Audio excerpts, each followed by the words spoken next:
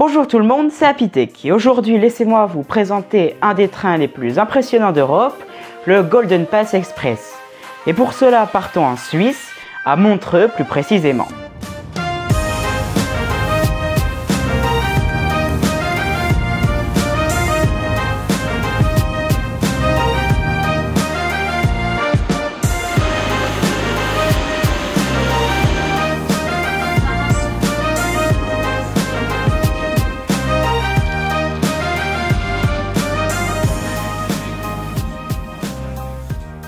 Bienvenue à Montreux, dans le canton de Vaud. Situé sur les berges du lac Léman, qui est le plus grand lac d'Europe de l'Ouest, c'est une très belle ville. Dans ses alentours, vous pouvez visiter le château de Chinon, qui est littéralement sur le lac Léman, le Chaplin's World, un musée sur Charlie Chaplin, ou des villages sur les bords du lac, comme Saint-Saphorin. Nous, les passionnés de train, nous sommes plutôt bien servis, puisqu'il y a énormément de trains crémaillères, de funiculaires et de petites voies métriques autour de Montreux. Vous pouvez aussi visiter le Swiss Vapor Park et sur les berges du lac Léman, il y a énormément de points de spot hyper sympas comme la gare de Saint-Saphorin. Mais ce qui nous intéresse à Montreux, c'est la gare.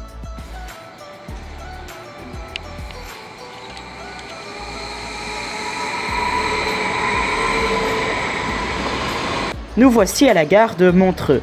Elle fut ouverte en 1860 et c'est une gare plutôt spéciale puisqu'elle possède trois écartements de rails différents.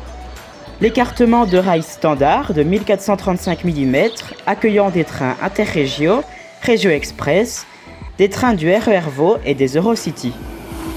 On a également l'écartement étroit de 800 mm pour la ligne montant vers les rochers de la Naï, et celle qui nous intéresse, c'est la ligne à écartement métrique du Golden Pass Express, permettant de rallier Montreux à Interlaken en 3h15 et en contemplant le magnifique paysage.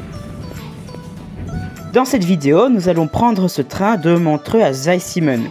Puis nous allons prendre un autre train pour aller à Lenking-Simmental avant de refaire le trajet en sens inverse. Je vais donc principalement vous présenter ces deux parties de la ligne. D'ailleurs, voici notre train, composé de 4 voitures panoramiques à écartement variable en livrée Golden Pass Express, dont une voiture pilote, tracté par la GE 44801 en livrée Testouse, qui est littéralement une pub pour de l'alcool.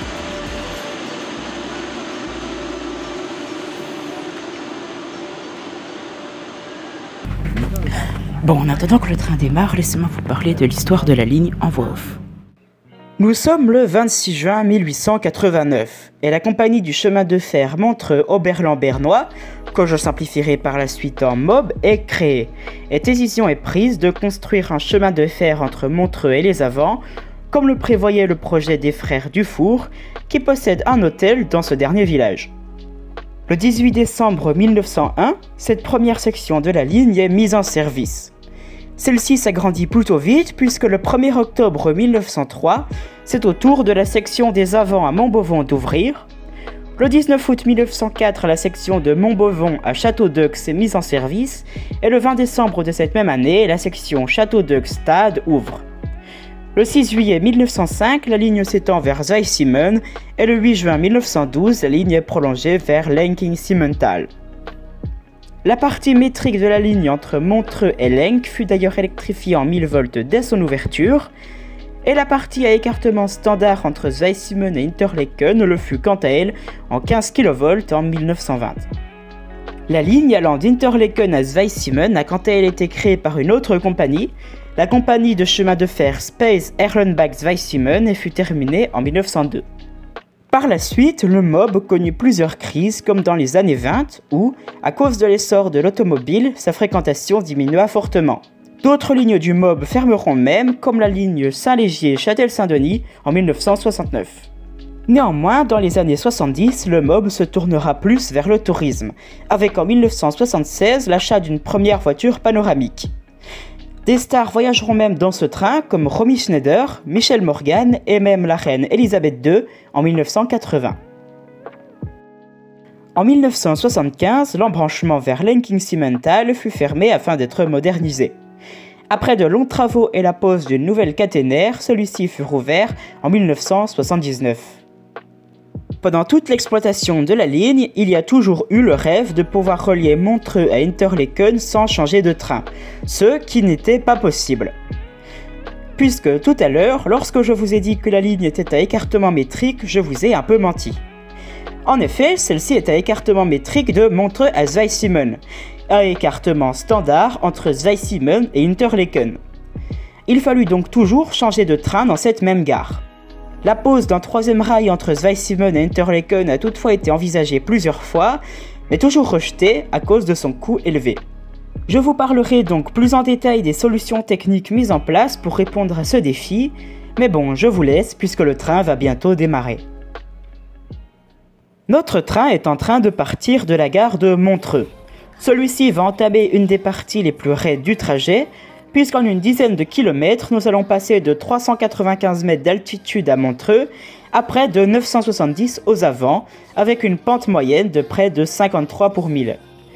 Pour cela, notre train va monter en zigzag sur les rives du lac Léman et traverser quelques tunnels.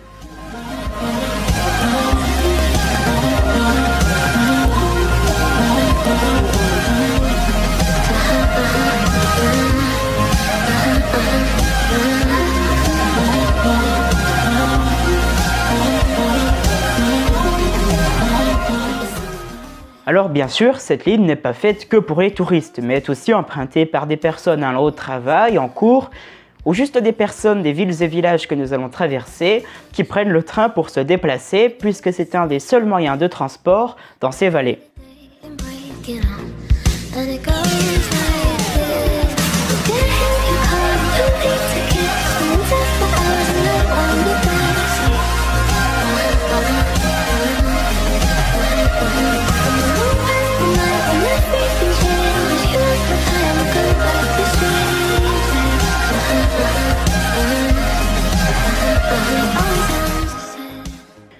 À l'heure, je vous parlais des lignes qui ont disparu à cause de la concurrence de l'automobile. Eh bien là, il y en a une aussi, la ligne Clarence-Blonay, qui se raccordait au MOB en gare de Fontanivant et qui fut fermée en 1955. Quelques centaines de mètres plus loin, on trouve les ateliers du MOB où est effectuée la maintenance des trains et qui furent ouverts en 1907.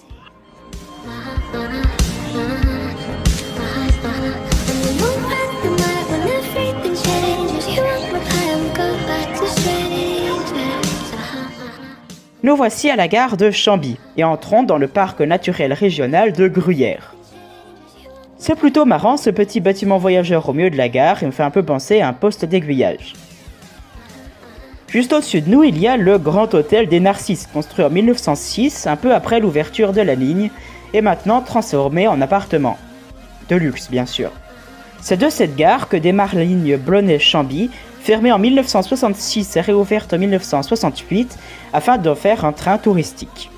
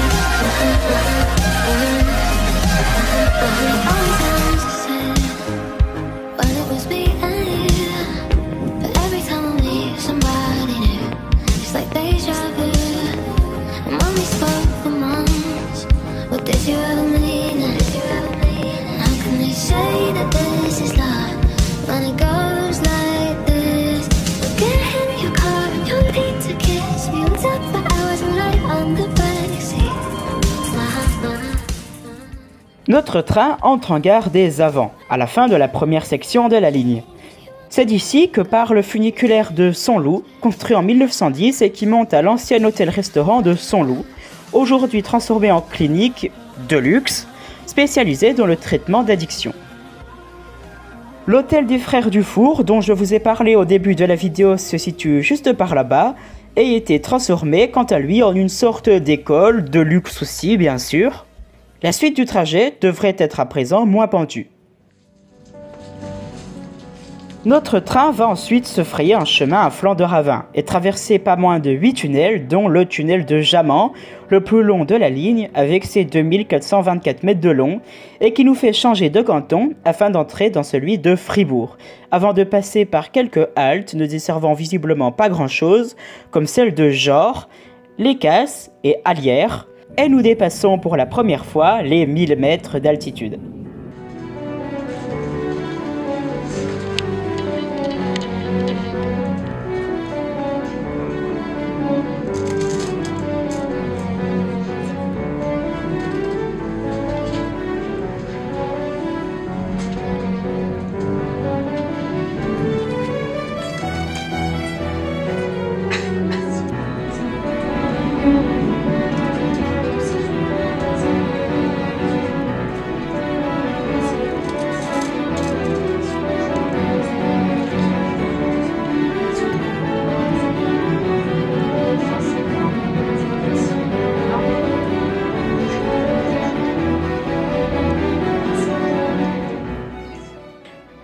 Voilà en gare de Montbovon, fin de la seconde section de la ligne. Là aussi, il y a des voies de service menant à un autre dépôt d'entretien des trains, et c'est aussi de cette gare que part la ligne vers Bulle.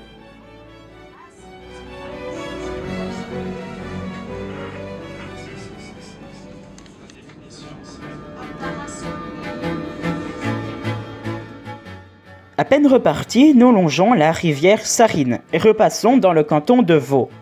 Puis nous traversons cette même rivière afin de passer juste devant un barrage et de passer au bord du lac du Vernex.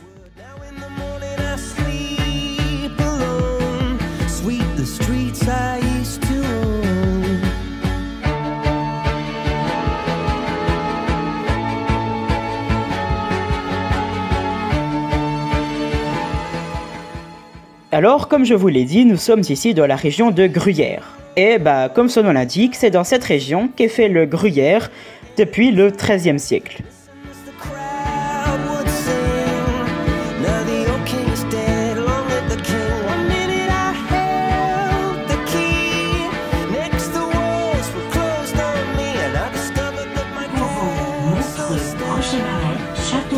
Nous voici déjà en gare de Château d'Eux, fin de la troisième section.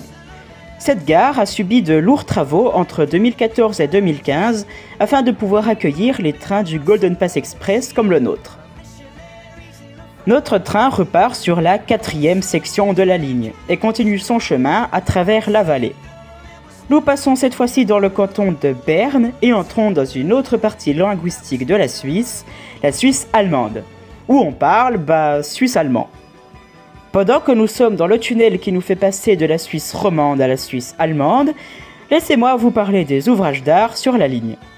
Entre Montreux et Zeissimon, il y a 19 tunnels, pour un total de 4984 mètres sous terre, dont le plus grand, celui de Jaman, avec ses 2424 mètres entre Jor et les Casses. Pour ce qui est des ponts et viaducs notables, il y en a 13 sur la ligne, pour un total de 10 015 mètres.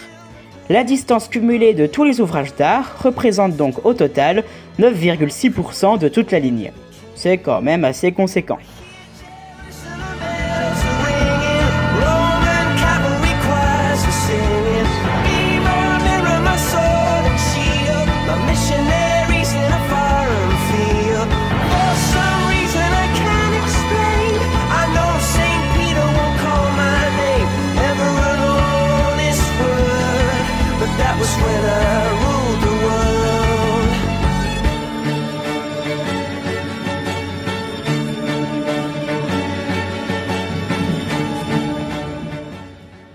Après, nous passons proche de l'aéroport de Saanen, construit en 1943 comme aérodrome militaire et qui est désormais utilisé comme aérodrome civil, notamment par la petite compagnie Air Glacier, qui effectue des vols de sauvetage, d'entraînement et de transport de matériel.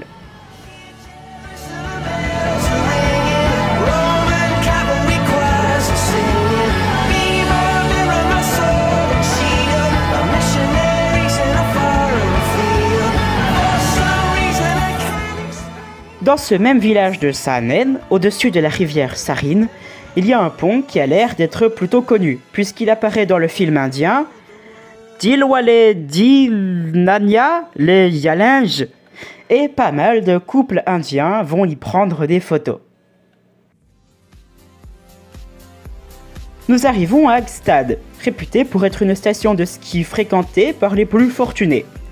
En effet, on trouve dans la station plusieurs hôtels 5 étoiles, comme le Stad Palace ou l'Alpinax Stad.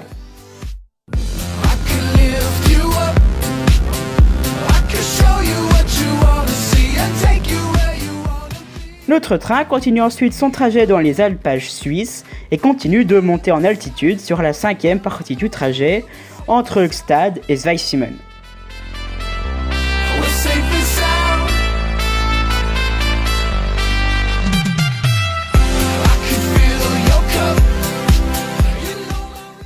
Bon, ça fait bientôt deux heures qu'on est dans le train, et donc je pense pouvoir assez bien vous parler de l'intérieur. Tout d'abord, je suis resté dans la même voiture que celle de mon siège et je ne suis pas allé voir les autres, donc je vais surtout vous parler de celle-ci. J'étais dans une voiture pilote de type ABST 380 comportant 9 places en classe prestige et 26 places en deuxième classe. En tout, dans le train, on a 18 places prestige, 48 places première classe et 118 places deuxième classe. Donc en tout, une capacité totale de 184 places. Alors déjà, laissez-moi vous expliquer ce système de classe. Comme dans la plupart des trains, on a la deuxième classe, moins chère mais aussi moins confortable. La première classe, plus chère mais aussi plus confortable.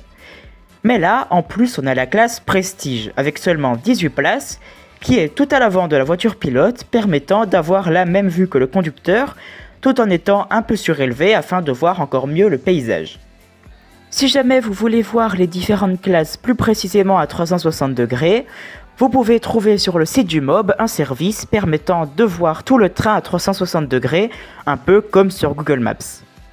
Je ne vous cache pas que les prix sont assez élevés.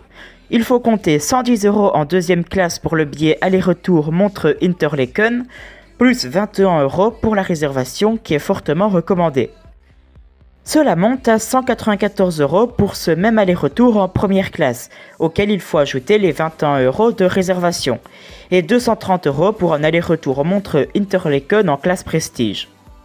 Sachant qu'il faut faire attention à ne pas prendre que la réservation, puisque sur le site c'est assez flou. Et lorsque vous réservez, vous pensez qu'il faut mettre juste réservation, logique puisque c'est ce que vous voulez faire, et puis vous voyez que c'est que 20 euros. Bon bah cool si c'est pas trop cher. Et une fois dans le train, vous vous retrouvez avec le contrôleur qui vous dit que, ben non, il faut le titre de transport. Et qui vous demande de payer 90 euros x 2, donc 180 euros de plus. Ben ça surprend et vous vous sentez un peu con. Mais bon, laissons ces choses économiques un peu chiantes de côté pour se concentrer sur ce qui nous intéresse vraiment, le train. Retenez juste que pour réserver, c'est un peu le bordel, donc faites attention, pas comme moi. Dans la voiture de tête où j'étais, il y avait à la fois la classe prestige à l'avant, comme je vous ai dit, et la seconde classe. Bon, euh, j'étais dans la seconde classe, bien sûr. J'étais assis dans un carré de 4. Niveau siège, franchement, c'est un peu moyen. Ils sont assez durs et vous allez me haïr, mais je préfère ceux des Regiolis. A noter que je n'ai bien sûr pas pu tester ceux des autres classes. Entre notre siège et celui d'en face, il y a une table avec des panneaux rabattables et une petite poubelle. Il me semble pas qu'il y ait de prise, du moins j'en ai pas trouvé. Par contre, j'ai juste une chose à dire à propos de l'appui-tête. C'est qui permet d'appuyer tout sauf sa tête. Regardez comme elle se balance dans tous les sens, c'est hyper chiant, encore plus quand il y a des virages. Bon, à part ça, au niveau de la déco de la voiture en général, j'aime bien, c'est assez moderne et lumineux. On a des grandes fenêtres pour bien voir le paysage et avec des petites fenêtres inclinées en haut pour voir au-dessus du train. Vous pouvez aussi voir que dans les tunnels, c'est assez bien éclairé malgré tout. Dans les voitures, on a également des écrans permettant de voir les prochains arrêts, l'heure, etc. Mais il y a aussi un autre écran permettant de voir parfois l'altitude, parfois la vitesse. Et lorsqu'on entre en gare de Zweisimmen, on a une vidéo qui nous montre comment se passe le changement d'écartement depuis sous le train. Mais bon, je vous expliquerai ça cela plus en détail tout à l'heure. Et est-ce que vous n'auriez pas un peu faim par hasard? Oui? Eh ben ça tombe bien puisque le mob nous propose de nous restaurer à bord du Golden Pass Express. On peut réserver pour avoir soit une box petit déjeuner composée de croissants, de confitures et de jus d'orange à environ 12 euros, ou une planchette, soit montagnarde avec de la viande, soit végétarienne sans viande, pour environ 24 euros, ou même une formule caviar avec 20 grammes de caviar, des blinis et du champagne pour environ 93 euros, mais qui n'est disponible qu'en première classe ou en classe prestige. À part ça, on peut acheter à manger ou à boire dans le train, comme de l'eau, du coca, du café, de la bière, du vin ou des snacks. Et qu'est-ce qu'on fait après avoir bien mangé? On va aux toilettes. Donc les voici. C'est des toilettes somme toute classiques avec un miroir, une table à langer et des toilettes avec un bouton pour tirer la chasse. Bon, pas très intéressant. En tout cas, j'espère que cette petite visite du train vous aura plu. Sur ce, on continue notre voyage vers Zweisimmen. Prochain arrêt, Samenmöse.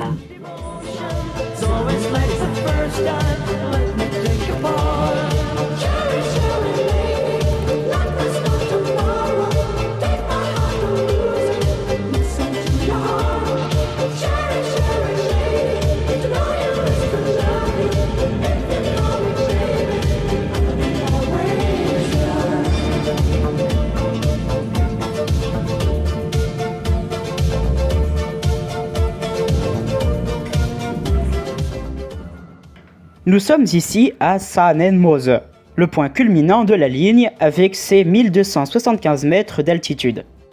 Il y a donc 880 mètres de différence d'altitude avec Montreux.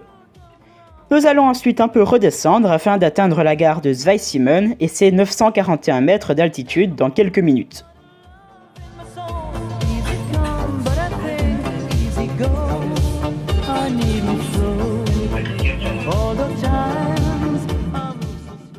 Nous descendons de nouveau en lacet afin de perdre plus de 100 mètres d'altitude en 2,9 km, soit une pente moyenne de 34,5 pour 1000.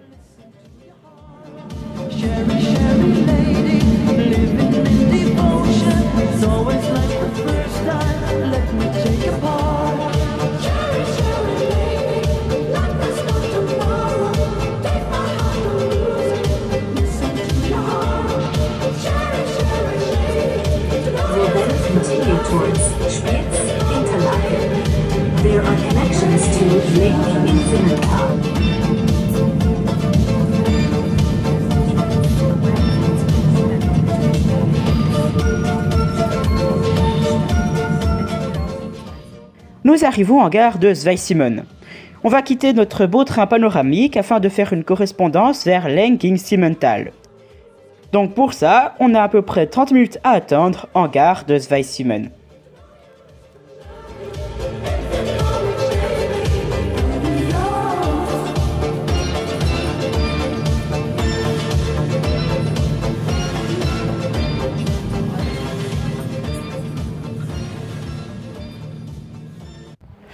Nous voici en gare de Zweisimmen, point d'intersection de trois lignes. La ligne Montreux-Zweisimmen qu'on vient de prendre, l'embranchement vers Lenkingsmental qu'on va prendre tout à l'heure, et la ligne Montreux-Spies qui est euh, par là-bas. Donc vu qu'on a presque une demi-heure à attendre, je vais vous parler du matériel roulant, ce que je n'ai quasiment pas fait depuis le début de la vidéo. En plus de 100 ans d'exploitation, la ligne a déjà vu passer pas mal de trains différents, que ce soit des rames tractées, des automotrices ou même de l'infra. Mais je vais vous parler du matériel roulant utilisé actuellement pour le service du Golden Pass Express. Comme je vous l'ai dit dans la partie sur l'histoire de la ligne, il y a toujours eu une volonté de pouvoir parcourir la ligne dans son intégralité, de Montreux à Interlaken sans changer de train. Ce qui n'est pas possible puisque les écartements de rails ne sont pas les mêmes entre Montreux et Zweisimmen et entre Zweisimmen et Interlaken. Plusieurs solutions ont été envisagées, comme la pose d'un troisième rail sur une des parties de la ligne, afin de permettre soit au train à écartement classique de rouler jusqu'à Montreux, soit au train à écartement métrique de rouler jusqu'à Interlaken. Néanmoins, cette solution a un coût très élevé et a finalement été définitivement abandonnée en 2008. Cette même année, Richard Kumro annonce un projet de bogie à écartement variable, afin que les trains puissent aller de Montreux à Interlaken sans que les passagers aient à changer de train. Et un prototype sera construit dans les ateliers de Chernex. En 2011, le développement de ce bogie d'un nouveau genre est confié à Alstom et Prose, une entreprise suisse. Ce n'est néanmoins pas la première fois que des bogies à écartement variable sont créées. En effet, il en existe depuis le début du XXe siècle, notamment en Chine ou en Espagne. Néanmoins, ceux-ci sont bien plus optimisés et permettent de faire le changement bien plus rapidement. La construction du train est quant à elle confiée à Stadler. On reconnaît bien la face avant du train qui est caractéristique de cette entreprise, mais le design est aussi confié à Pininfarina, une des plus prestigieuses sociétés de design au monde. Les premières voitures du Golden Pass Express ont été livrées en avril 2021 et celle-ci fut mise en service le 11 décembre 2022 à hauteur d'un aller-retour par jour et à partir du 10 juin 2023, ce chiffre fut porté à 4. Laissez-moi vous expliquer concrètement comment se passe le changement d'écartement et de tension en gare de Zweisimmen. Le train arrive de Montreux à Zweisimmen, composé de plusieurs voitures et d'une voiture pilote Golden Pass Express à écartement variable. Tracté par une locomotive de type GE 44 8000 à écartement métrique sur la voie alimentée en 1 kV. Le train passe ensuite sur une station de transition à basse vitesse. Des sortes de montants se déploient de chaque côté du bogie afin de faire glisser le train sur ses deux rails, de part et d'autre de la voie. Les vraies roues ne supportent donc plus le poids du train et il n'y a pas vraiment d'essieux, mais plutôt deux blocs de chaque côté où sont accrochés les roues. Ils sont reliés par une traverse qui supporte le poids du train. Pendant que la caisse est en quelque sorte soulevée sur les glissières, les roues se mettent au bon écartement. Puis la caisse redescend et c'est bon, vous avez votre voiture au bon écartement. Pendant ce changement d'écartement, la caisse change d'ailleurs de hauteur puisque les quais des voies métriques sont plus bas que ceux des voies standards. Cette opération est effectuée pour les voitures et les voitures pilotes, mais pas pour les locomotives. Les voies de la gare de Zweisimmen possèdent 4 rails afin que les trains métriques et standards puissent y manœuvrer facilement. Le train va s'arrêter à quai afin de décharger les passagers, puis la locomotive métrique de type GE44 8000 est dételée et va stationner plus loin, pendant ce temps, une locomotive à écartement standard, généralement une RE 465, est attelée afin de poursuivre le voyage vers Interlaken. Mais ce n'est pas tout, puisque les tensions d'alimentation électrique des trains ne sont pas les mêmes sur les deux parties de la ligne. En effet, entre Montreux et Zweisimmen, la ligne est électrifiée en 1000 volts, et entre Zweisimmen et Interlaken, elle l'est en 1500 volts. La tension électrique de la caténaire est donc changée directement sur l'infrastructure, alors que d'habitude sur les autres chemins de fer, c'est le train qui s'adapte en étant bi, tri, voire quadritension. Et voilà, vous savez maintenant comment passer la gare de Zweisimmen en train. Il faut savoir que cette opération s'effectue plutôt vite, en moins de 8 minutes.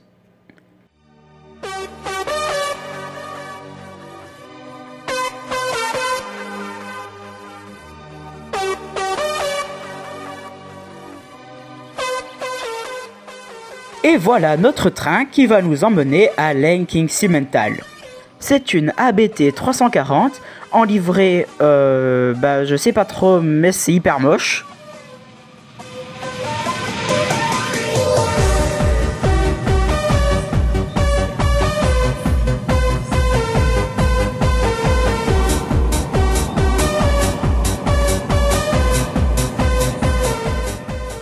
La suite du trajet est plutôt calme. Il n'y a ni grand pont, ni tunnel, et, comme entre Montreux et Zeissimmen, la voie est à écartement métrique.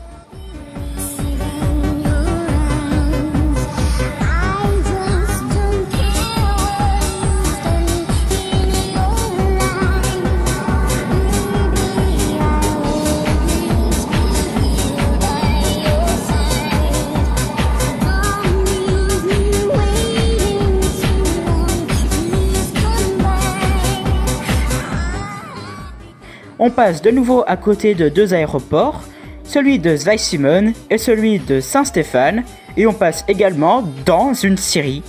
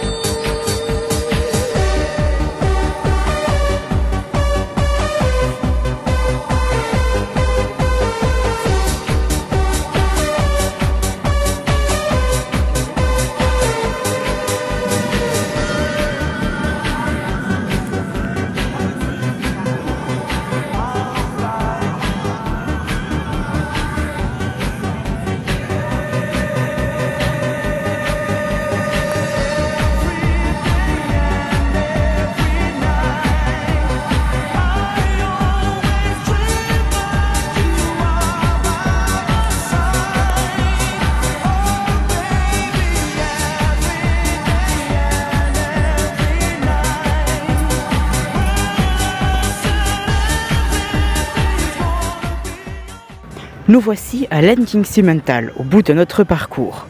Cette gare fut construite en 1911 et il y eut plusieurs projets de relier cette ligne à la ligne du Simplon de l'autre côté des montagnes afin de relier Berne à l'Italie, mais n'aboutirent jamais.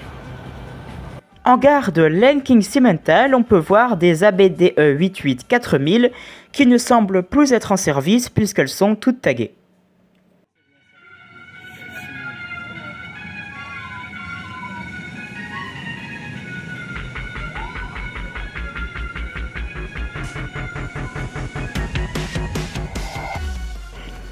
Voilà, c'est déjà le moment de reprendre notre train en sens inverse vers Svasimon puis Montreux.